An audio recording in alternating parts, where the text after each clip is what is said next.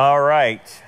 So, in our current events, what we want to tackle tonight is uh, the ongoing attack on uh, the rapture that we, we constantly see, the ongoing attack on uh, um, dispensationalism. And one of the things I want to make a statement before we get into this is the devil always attacks that which is true. He doesn't attack that which is a, a lie, he always attacks that which is true. And what I typically find out with people like Eric Metaxas or anyone else like this Benjamin Thomas or whatever, they go on the rampage, they go on an attack, and they're not willing to be civil about it. They're willing, they're, they're just, you know, they can't just say we agree to disagree. They go on the offensive and the attack. And uh, I can tell you this after, after what you're going to hear from Eric Metaxas and this guy, especially Eric, he's a, a, prominent figure. And he's been at churches like Jack Hibbs' church and other pre trib, premillennial churches. And now he shoots his mouth off like this. He's going to lose all credibility. No one's ever going to invite him again. And I think at this point, Eric Metaxas has lost all credibility in my book. And I'll show you why. Because he went somewhere where you don't go. Uh, not the fact that he, he doesn't, you know, uh, uh, you know, he could disagree, we could disagree about the rapture, and that's fine but it's when you go on the offensive and the attack and say it's a doctrine of Satan, it's a doctrine of hell, and it's bad theology, now we got another problem now. Now, now you're on a different level now. We're not agreeing to disagree. You're on a, a, a, almost a false teacher level at that point in time. So anyway, I wanted to, to, bring this up because this is part of the growing apostasy in the church. And the fact that true doctrine will always be attacked and false doctrine will be, uh, always be peddled by guys like this or anyone else. So, this is part of the scenario that we're having to deal with. So, apostasy in the church. So, anyway, he's interviewing this guy, Benjamin Thomas. I've never heard the guy uh, uh from Adam uh, before. Um, but anyway, he wrote a book, and I guess anyone can write a book these days. Uh, you can self publish or whatever. And so um, they go on attacking the rapture doctrine. So the first thing, let's deal with the first clip, and then I'll go from clip to clip and go through all of this with you, okay? and uh, for me, um, there came a point where I really started to recognize how the world really worked and behind the scenes, the power structures that you know, frankly, had done a really good job of, I think, managing our world for the enemy's team. And uh, frankly, it's kind of like the, kind of like the RINO Republican Party. a lot like the RINO Republican. But I mean, it's exactly Party. like that, right? Like you, you kind of. Um, anyway, I don't want to step on your uh, your words, but you're you're saying that we had all this keeps coming up over and over and over in various disciplines, so not just end time stuff and theology, but this idea that there's this consensus. We all buy into the consensus. We think everybody on the team, all the good guys, agree on this consensus. And then something happens that makes you say, I wonder if we have missed something. And it seems like you that's what happened to you. Well, that's absolutely right. I mean, I was poking along. A friend of mine came to my house in, in Texas at the time and sort of educated me on how the world really worked. And honestly, Eric, it scared me. Uh, when I understood how organized our enemy really was, it really scared me. I was frightened. And frankly, armed with only my teaching from my evangelical church upbringing, which was pretty much could be summarized in yeah, things get really bad, and then one day we just get rescued.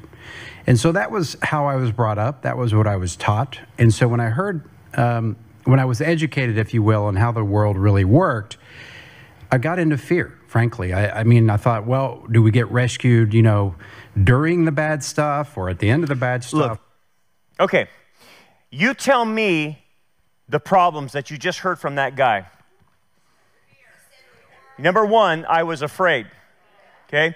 Who told them this information of how the world works? God, Jesus, the Bible? What did he say?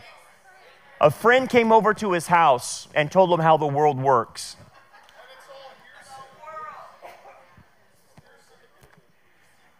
A friend told me how the world works.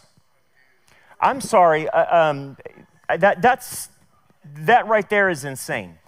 Um, this tells you how the world works. So when, you start when you start spotting false teachers, false prophets, whatever, notice who their source material is. For him, it's some dude that came to his house instead of the Word of God. And notice the reaction that the dude told him how the world works, and it made him afraid. Okay? Now, now what I will say later on, as you'll see in, in the, uh, the videos, is that he must have ran into a dominionist Christian, because I can tell by the, what, what, what he concludes all of it. What they're worried about is the deep state, okay? And the dominionists are very worried about the deep state as well. But the dominionists are different than us. The dominionists are trying to bring the kingdom of God without Jesus. They're trying to Christianize the United States without the second coming. Okay? And, and I'll get into that in just a bit. Uh, we are not dominionists, we are evangelicals that believe that Christ has to come back and establish the kingdom. And when he does that, then the world will work. Okay? But the world is not going to work by just getting uh, uh, Christians into governmental positions, and that will Christianize the whole world, and then we can uh, uh, hand over the world to Jesus when he comes back after we've Christianized the world. That's insane, okay? But that's dominionism, okay? That's dominionism, and that's what these two uh, uh, individual characters are, are, are, are hunting for right now. But so, red flag, okay? We got the red flag. Let's, con- let's continue to read the red flags. What I, Hal Lindsey's The Late Great Planet Earth, or whatever, that the Antichrist is going to come. It's going to be sick, bad, horrible. Uh, the saints get raptured out of here. Um, that's kind of the narrative that is not challenged very much. And what is that called? That's called a pre trib rapture. Well, it's called. Uh dispensational is, you know, there's a lot of words for it, uh, but actually, it's I call it the rescue rapture. Uh, we get rescued from uh, the grips of Satan, who's about to destroy us with the Antichrist, and that's generally what we've been taught for a long, long time. Implying what? That we've been told wrong. Okay? So let's unpack that a little bit. What, what did he just say? If he's talking to you and he told you this, you know, we've been all taught this and this is, this is the consensus and it's never been attacked. Let me tell you, I'm on the front lines of getting attacked all the time for the, for the proper view. There, there, there's no consensus. They hate us for our view. Uh, the rest of Christendom hates premillennialism and pre tribulationalism. I'm sorry. We're, we're on the other end of that. No one ever attacks amillennialism. No one ever attacks postmillennialism. No one ever attacks preterism. They just get a pass. It's the pre-tribbers and the uh, premillennials that are always being attacked. So I don't know what they're talking about. But again, it's called the straw man argument. And you can, you can make a straw man argument, say that this is happening, and then you knock it down. That's what they just did. Both Eric Metaxas knows better, and so does this guy who wrote this book. It is not the consensus, it is the most attacked view out there, in essence. But anyway, they're implying that, well, we've just been bamboozled, it's been all wrong, and now I have new information that I want to give everybody and correct everybody on this. Let's continue on. okay, and so you and I talked about this, and one of the downsides of that view, and I have talked about this a lot from, from a different perspective, but what it makes a lot of Christians do is say, I don't give a darn about this world. That's not biblical, folks. You're supposed to give a darn about this world. Jesus saves you uh, and fills you with the Holy Spirit so you can be uh, living out His will and His power in this world for His purposes in this world. But if you believe it's all going to go to heck in a handbasket and I'm going to get raptured out of here. The, the memo is so, therefore, don't do anything. It's all going to burn. It's all going to burn. So, you know what? I'm just going to, we're going to have my quiet time. I'm going to have a nice time with the Lord on Sundays, and I'm not going to do anything because I'm out of here. That uh, is not biblical. It's not only biblical, but who's stating that? Because nobody in the pre trib, premillennial camp has ever made that statement. It's all going to Hades in a handbasket.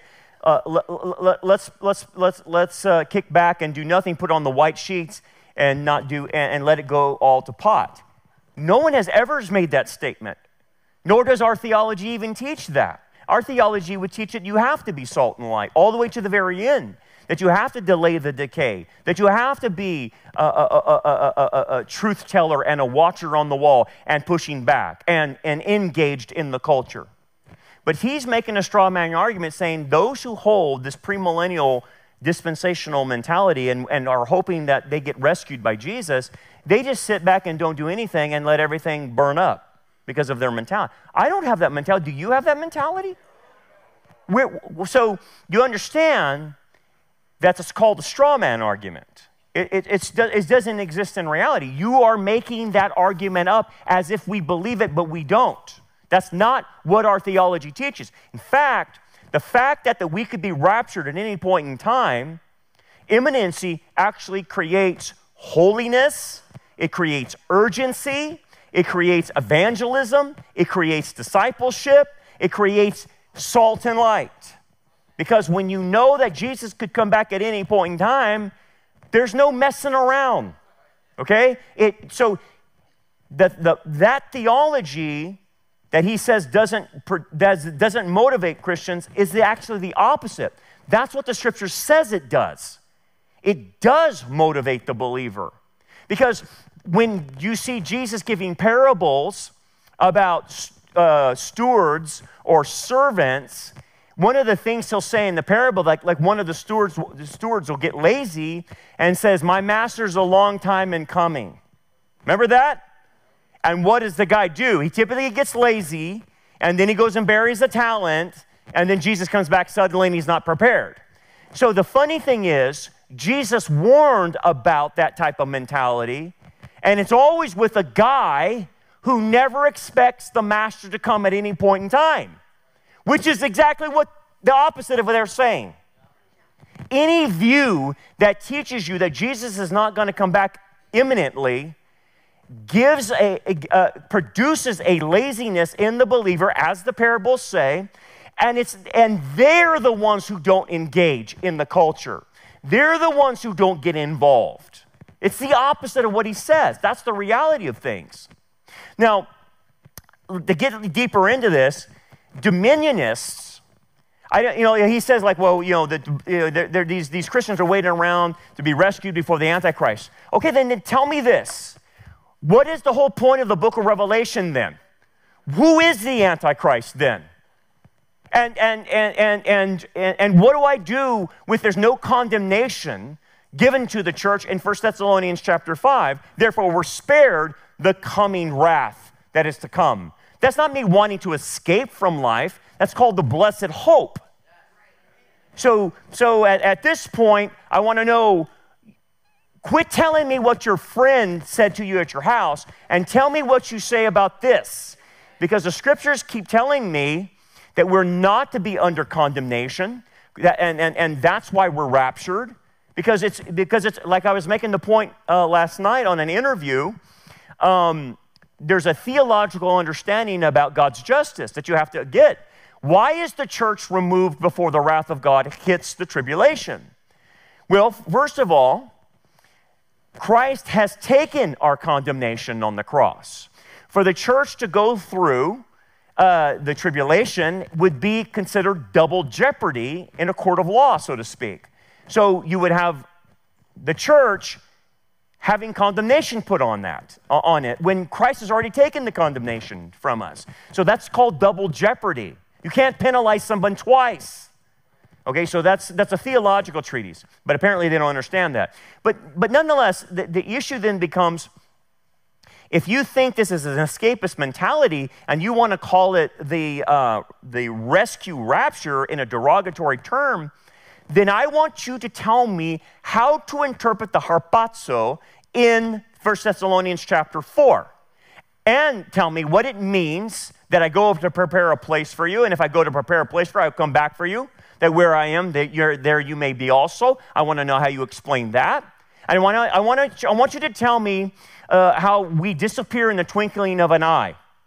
I want you to explain those passages to me. Uh, if you're, if you're not, and, and, and unless you're just going to sandwich them all together at the second coming. But again, they, they're not going to do that. What I call the rescue rapture has really taken the church and put them on the sideline. People don't, for instance, run for Congress. They don't, uh, you know, go to school board meetings. They don't participate in society because they believe that Jesus will come at any moment and rescue them. And I think that's the fruit of this rescue rapture uh, doctrine. Um, how many school board meetings have we been to, Rory? This, this, this guy, he, he, he, this is crazy talk. Eric Metaxas knows the churches that Eric has been to. He's been like at Jack Hibbs, the most political church probably in California. Our church, we're involved. We're at board meetings. We're doing this. We're doing that. We have people in our church that actually run for office. They, they, where did you think they got that from? A church telling them, don't do anything? It's all going to go to Hades in a handbasket? Just sit back and do anything? No, no one's saying that. That's not the message that comes from it. But yet, again, straw man argument, uh, uh, we're going to pretend that this view is hurting America, that this view is hurting because Christians have decided to sit on the sidelines and they don't want to be involved. They just want to be rescued like a bunch of babies. Ah, okay, gotcha. Let's keep going. What I, There's one thing I want to tease out of that. There's another piece of that, right? On the one hand, they think Jesus is going to rescue them. On the other hand, there are a lot of people I've met that they're almost psyched to see the world go to hell. They're almost psyched to see everything get worse, like, ha ha, judgment is coming, ha. Instead of being moved by compassion to help those who might be helped, they're, they're kind of glad to see it go downhill. And, and for me, that the United States of America is the classic example that, like, this country was founded to be a shining city on a hill, to be a beacon of, of liberty, and to be able to be a place kind of a, almost like a launching pad for gospel missionaries and gospel principles and purposes around the world.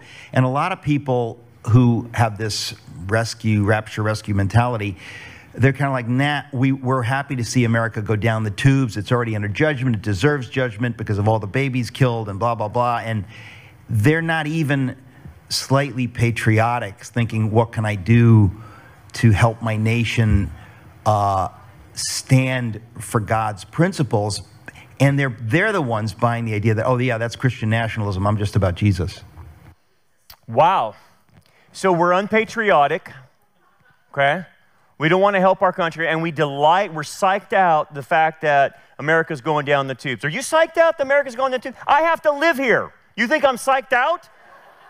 I, I have to raise kids in America. I, am not psyched out that, that we're saying that men can have a baby. I'm not psyched out. It's grossing me out. I don't like the environment. I wish it would change, and I'm going to do everything I can to try to change it. But this, where, where does he get this, get off on this stuff, man? Saying that's that's Crazy talk. This is somebody that, and this is, I can't, I, I was in my interview last night. I, I, I watched these guys, they're, they're going along, going along, going along, and they're fine, they're fine. And then all of a sudden they flip a switch and then start castigating everybody else as a demon that's actually the one's actually doing the work. Um, and so to, to, to accuse Christians of, of, of, taking delight. You know what that is? If, I, if, I'm, if I, you're accusing me of taking delight in the death of a culture, that is what God warned about. I do not take delight in the, in, in, in the, in, in the death uh, of anyone, God says. But, but at the same time, are you, Eric, are you not going to acknowledge that there are things in the world and in America that are going to be judged? I, mean, you have to acknowledge that. Am I happy that it's going to be judged? No. But eventually, I understand justice must come. And eventually, justice must be dealt out. And it will be dealt out uh, very, very horribly in the tribulation. But at the end of the day, Eric, none of us are taking delight in watching our environment go to pot. No one's, no one's taking delight in that. I, I know what I know, but you're, you're making this up. Again, castigating those who believe in the truth as bad people, unpatriotic. You see where this is going? What I, we are called to be salt and light. We're called to Duh. fight, not to sit on the sidelines. We're not. And and get the popcorn to watch it all burn. We're and, not. You know, like that's not right. And that's bad theology. And that's what led to people accepting the nonsense of like, oh, Christian nationalism, if you care about America. That is total garbage on every level. And what you bring in in this book, and I want to get to the details, is how bad uh, end time theology feeds that and has fed that and has led us to a place where the church has. I mean, imagine what happens when the church pulls the salt and light out of the culture. So bad theology. So what we believe is bad theology. Okay. So now you're not saying I agree to disagree. I'm telling. He's saying dispensationalism, premillennialism, the rapture view is bad theology. Oh, so you're putting us in the category of false teachers. You're putting us in the category of false doctrine. That's what he just did. Okay. Now, what have you learned about liberals and leftists? Before we go, we apply it to here. Liberals and leftists will always project onto you what they do themselves. Right? That's the tactic. Russia collusion, and then they're the ones messing with Russia, right? Okay, when you see that same thing in principle in this thing, they accuse us of that which they do. That's a satanic tactic, by the way. That's a demonic tactic. And now, when you see it in Christian circles, then you know kind of what's influencing this. What the fact is, we don't fight. Nobody fights. And, Really? And I think a lot of the reason people don't fight is because we've been taught there's no need to. You're going to be raptured out of here. We're going to be rescued. And uh, so this place is going to burn up anyway. And so that's generally what people believe. Now, you know, they may not use those words, but deep down inside, that is what they've been taught, and that's what they believe. Wow. I don't know about you, but we're fighting. This is insane. What I, I met a guy the other day who he did not, he, you know, he's a garbage I met a guy. He's been running the same I know a guy. for 20 years. And he speaks Hebrew and Greek and Sanskrit. He can read, you know, go into a cave and read the walls. And I said, why didn't you go to college? You obviously have these gifts. You have these gifts and these talents that, that God is using you for. Why didn't you go to school? And he goes, Well, I grew up in the South, and my church told me there's no need to go to college. Jesus could come by any time, What? and there's no reason for you to go to school. And he said, That's why I didn't go to school.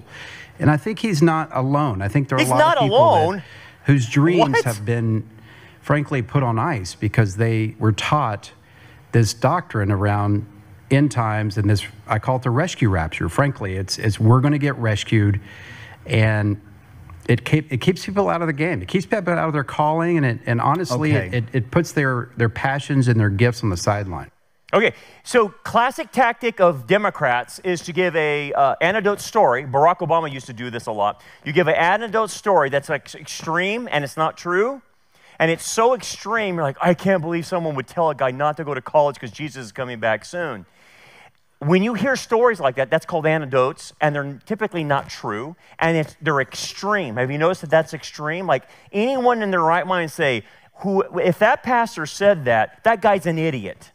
Because nobody in their right mind, in proper theology, would ever say, hey, don't go to school or don't go to college because Jesus is coming back tonight. What idiot would say that? You, you'd have to be a false teacher. But again, they're wanting you to think that that's actually a real example. It's not. That's a made up extreme example. I know a guy. When you hear someone tell you, I talked to a guy, uh uh-uh, uh, uh Continue on with the heresy. What I, And, and let's call it what it is, folks. It's bad theology. And by the way, I want to be very clear. I say this in all my speeches. Bad theology, to be clear, is from the pit of hell. Thank you. It's Satan's theology. It's not like, oh, B minus theology. It's from the pit of hell, bad Yeah. theology. And it leads us not to doing God's will. Okay, he just made that's it. I, I don't need to hear any more. He has just called an orthodox position in Orthodox Christianity, which is premillennial, premillennial, uh, pre, uh, uh, dispensational, uh, which is orthodox in Orthodox Christianity. It's, a, it's a, a- an accepted view, said that that is from the pit of hell. Okay? So when you got someone doing that, you're, you're walking on the line of a false teacher now. Because now you're condemning orthodoxy. And if you start condemning orthodoxy or an acceptable view in orthodoxy, the only thing you can say is we can agree to disagree. But if it's acceptable and you condemn it, now you become the false teacher because you're condemning orthodoxy. And again, we're not, we're not saying this is an A doctrine, but we're saying it's a secondary or tertiary doctrine that it is acceptable within the pale of Christianity. And you just said it's not. So you've went against scholarship, you've went against theologians, you've went against uh, the acceptable, acceptable views of Christianity into the 21st century. Okay, then I know where you're at. Let's continue on. So when you talk about bad things that happen, a lot of Christians are like, yeah, yeah, see, that's it. I told you things will get worse. And they think it's a fulfillment somehow of Bible prophecy, but at the end of the day, it has taken the church out of the game and that's one of the reasons why we don't have great candidates running for Congress or running for president. That's one of the reasons we find ourselves in a place where Satan has taken over the seven pillars of our society. Oh. And then we are shocked. We act shocked, like, oh my gosh, how did that happen? The reason it happened is the Christians were not involved. We thought things were just going to blow up, the world was going to burn up. And so we took a back seat. And I think that's the fruit of that mentality, and, and unfortunately, a contributor, not the only contributor, but certainly a contributor to where we are today. Oh, there's no doubt. Culture. Okay, he let the cat out of the bag. Did you hear it? He said seven what? Pillars. Oh, thank you very much. Now I know where he's coming from. He's a dominionist. Okay, so let me, let me unpack this a little bit if you're not familiar with this. This is a heresy, by the way, okay? You might have heard of it called the Seven Mountain Mandate or the Seven Pillars, Seven Hills, whatever you want. Glenn Beck pushes this a lot of times on, on his program.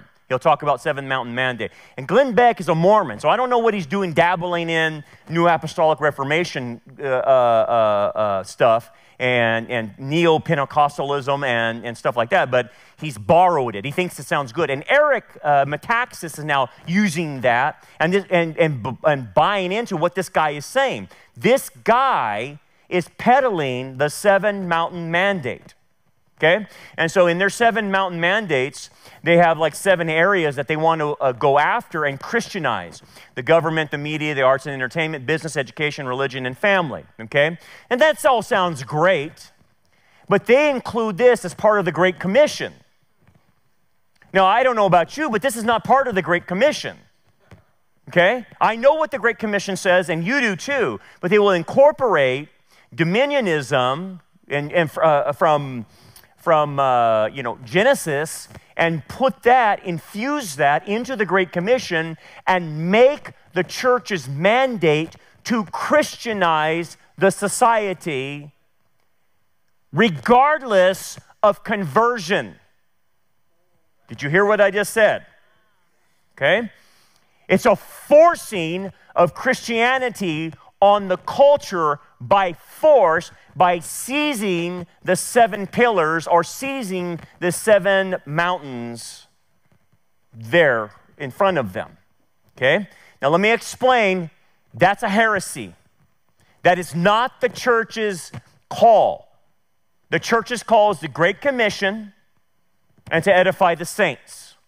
Okay? That's the church's call. Now, as a result of conversions, as a result of people being led to the Lord, and as a result of people being discipled, it's possible then that the more conversions you have, the more your community, the more your society will act Christian as a secondary cause. But we don't put the cart before the horse. In order for someone to behave like a Christian, they have to be a Christian. They have to possess the Holy Spirit. They have to possess the new nature. And then they will want to support traditional marriage. And then they will not want to get abortions. And then they will want to live as God wants them to live. But if I'm going to force a pagan to act Christian, what do you think I'm going to get from that? Rejection. Okay? So if I'm going to change the culture, I can't put the cart before the horse. I have to do my job discipling, evangelizing, and the more people that become Christians, the more Christians those families become, and then the society affects, and then, and it starts coming out. That's why America was so Christian early on, because 90 something percent of the population were Christians. And, and they held to a Judeo Christian ethic. But now what's happening? The, the fault on what's happening in the culture, yes, the church can be blamed for a, for a lot of, of, of being silent and not doing what they're supposed to do, but that has nothing to do with believing in a rapture and, and dispensationalism. That has to do with lazy Christians that don't believe Jesus is coming back. That's where that comes from.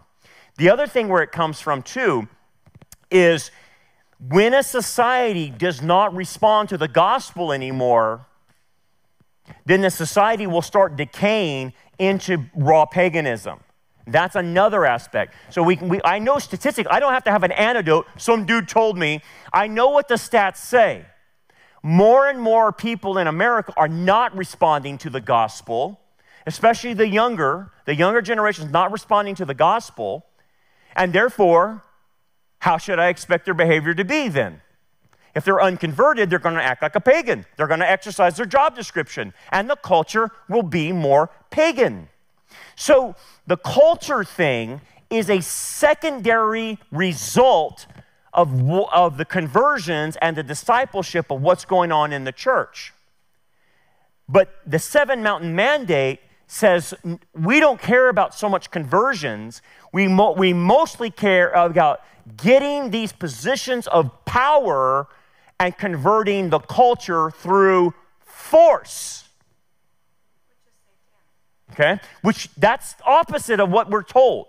So where does this come from? The Seven Mountain Mandate or Seven Mountain Prophecy is a strategy of cultural engagement popularized by Lance Wallnau and Bill Johnson. Bill Johnson is a false teacher up there in Redding in their 2013 book, Invading Babylon. It comes from a neo charismatic Pentecostalism or what we call New Apostolic Reformation. That's where it's coming from. Okay? The charismatics don't believe in this. It's the, it's the New Apostolic Reformation. This is off the chain, crazy stuff. It is a false commission. Okay? It, it blends in Isaiah uh, 2, it blends in Psalm 2, it blends in the dominion mandate into the kingdom of God and they don't understand the kingdom of God. But like Isaiah 2, they take this out of context, says, Now it will come about that in the last days the mountain of the house of the Lord will be established as the chief of the mountains. They think they can accomplish that passage. That's why Eric Metaxas and this guy are like, this is why Christians are not engaged and they're not getting involved. No, no. We have no business getting involved in establishing the kingdom because Isaiah 2 and Psalm 2, who establishes in the last days the mountain of the Lord? It's Messiah. The mountain is, a, is not a real mountain. The mountain is a, a, Hebrew, a uh, Hebraism or Jewish idiom for government. So, in the last days, the government of the house of the Lord will be established as the chief of all the governments, that being the Messiah's government when he comes back at the second coming. They're saying we're going to do it before he comes back. And we're going to do it through arts and business and church and, and, and dissemination media, education, family, and health and government law. So basically, what we have then that Eric Metaxas is now touting with this guy's book is false teachings based on replacement theology. What do you mean? Well, in replacement theology, the church replaces Israel, okay? That's a false teaching, that's a heresy. In dominionism or New Apostolic Reformation, the church now takes the Abrahamic promises and the kingdom promises away from Israel and assumes it on herself and then tries to enact it and bring in the kingdom on their own, and once they Christianize the entire world, then they can hand it over to Jesus at the second coming. That's wicked. Okay? Number one, it's wicked, number one, when you have replacement theology. But number two, to think that you're going to usher arrogantly the kingdom of God without the Messiah, you're out of your mind. So when that guy said, I had a dude come over and tell me that uh, how the world works, I already know what was happening. He had some dominionists come and fill his ears with lies and heresies, and then this dude wrote a book. Okay, that's what's going on. The claims of the kingdom the mountain of the house of God, it will be established by the Messiah. He will rule and reign through Israel, not the church. The church rules in the Gentile portion of the government, but Israel is part of the, the, the, the Jewish part of the government. And under Jesus is David. Under them are the 12 apostles, and under them are princes and governors and, and, and whatnot for the Jewish side. The church never, ever takes Israel's promises, ever. That's a heresy. Okay? it takes Deuteronomy that, that uh, when it says that Israel be the head of the nations and not the tail in Deuteronomy 28, that's for Israel. That's not for us. Okay? So they want to fulfill Psalm 2, fulfill all of this, and, and make the mountain of the Lord in the United States. Do you see why, when he mentioned in this thing, well, Christian nationalism? Did you hear them say that? Okay. It's the dominionists that are being accused of Christian nationalism because of their views. Because they believe they're going to force the kingdom. And that's why even the left is scared of those kinds of mentalities. Because I can tell you that mentality is not coming from Christianity, it's on the level of like Islam, where Islam is going to bring in a, a worldwide caliphate and they're going to force the situation, right? The Christian dominionists are the same mentality, okay? I mean, I, I, I, one of the papers I did in seminary was on Oliver uh, North, not the, the, the, the, the guy with Ronald Reagan, uh, but another guy, oh, sorry, Gary North. And their dominionist mentality was eventually to usher back in the Ten Commandments and force people to submit to the Ten Commandments and the penalties attached to the Ten Commandments. Well, wait a second. What's, what, what are you talking about? You can't usher in the Ten Commandments because, because the Mosaic Law has been rendered inoperative. So, in, in Gary North's opinion, then he wanted to bring in a, a, a Christian nation and then start uh, uh, uh, stoning homosexuals to death, as they would in the Mosaic Law. I mean, that's how crazy these Christian, these types of Christians are. And, and what I remember in my paper saying, uh, these people, they're crazy. They're nuts. It's a heresy to bring in Mosaic law and the penalties attached to that. Okay, so why? Why go there? Well, number one, this is where they get the seven mountains. Here is the mind which has wisdom. The seven heads are seven mountains on which the woman sits. There are also seven kings. Five have fallen, one is, and the other has not yet come. And when he comes, he must continue for a short while. The beast that was and is not is himself also the eighth, and is of the seven, is going to perdition. So here's a mind that has wisdom. Apparently, they don't have wisdom because they misinterpreted that passage. Nowhere in that passage does it talk about seven mountains uh, that, uh, uh of, of government, education, media that the Christian is supposed to seize.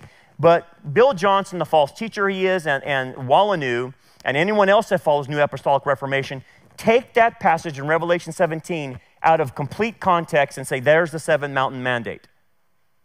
That is not what Revelation 17 is talking about. Revelation 17 is talking about the beast empire. That's what it's talking about. And it's talking about seven successive, chronologically ordered beast empire uh, phases of the Roman Empire. And then the last one is a contemporary empire with 10 kings. That's what Revelation 17 is talking about.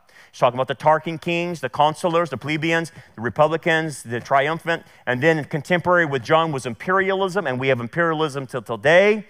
Uh, and that will happen till the middle of the tribulation. And then we have absolute imperialism that will happen with the 10 kings, with the Antichrist taking over and then eventually uh, the seven submit to him and he kills the other three. That's what Revelation 17 is talking about. It is not talking about seizing the government, seizing education, seizing all this other stuff. So basically, what you have then is Eric Metaxas has put himself in the camp of a false teacher. And the guy he's touting on his program is a false teacher. And again, this is disappointing, but it is evidence of the great apostasy. that here we go again. Another one of the Christian celebrities that people trusted has now fallen and cannot be trusted. And that's where I'm trying to warn everybody. Be careful with these Christian celebrities. They, they're burning out, man. They're, they're going good, they're going good, and all of a sudden, boom, they crash. And that is the nature of apostasy. You leave that which you held was orthodox and you leave it for a false teaching. And that's what not only Eric Metaxas did, but this other guy did. So be, be, very, very careful these days, guys, who you're listening to. And again, it, what does it come back to? You got to know this. That's what it comes back to. If I know this, I can spot Eric Metaxas. I can spot when he says, A dude came to my house and told me how it was. That's it. I, have checked out what's, what's when you say. Crazy, right? Anyway, uh, we got to get out of here. Let's pray. Father, thank you, Lord, for what we can uh, understand tonight, especially in the realm of suffering uh, and what we have to do to be able to connect to the Messiah in that, to be able to process that and get healing from that, Father, in all that we have to suffer and do so that we can be prepared to give up our lives uh, for what you have called us. Uh, to do in our lives. So, Father, as we go, help us to have our radar up, to be wary that, that wolves in sheep's clothing are out there, and to help us to know our word to spot them. We pray in Jesus' name. Amen. All right, God bless you guys.